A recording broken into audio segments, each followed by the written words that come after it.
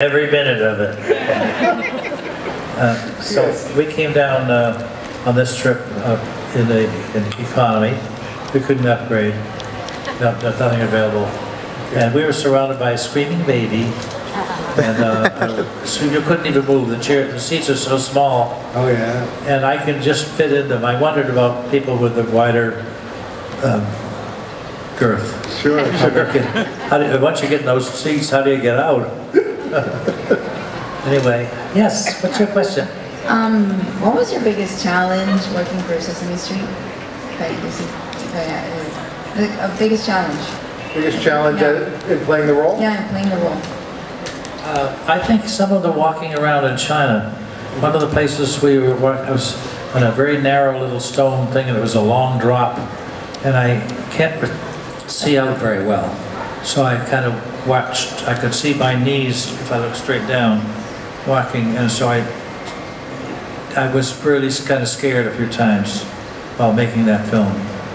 There's also uh, some scenes in that film where you're in a boat. Yes, and the boat only had uh, two inches of leadboard, which means the water, if you tipped it more than two inches, so the water would pour right in. And if we, uh, I think, and we were in a river that has, was moving at about 25, 30 miles an hour. There's a huge flood had gone on up the river, on the Li River. And uh, if we'd fallen in, now, uh, the dog was with me too. Barkley the dog, played by Brian Muehl, who was very athletic, he's powerful. Because to walk, you have to, the, you know, our legs are a lot longer than our arms. So in order to walk right, he had to have uh, like crutches that would be on his arms with the dog feet at the end.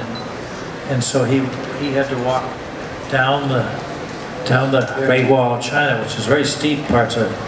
And he said, I feel like I'm gonna fall on my face. Yeah. There's nothing to stop him. His face is right inside the dog's face. Right. So that, he, he had a worse time than I did, I think. Thank you. Do you have another question? Oh, no. Okay. Next. Hi, Tigger. Ed the yes. Uh,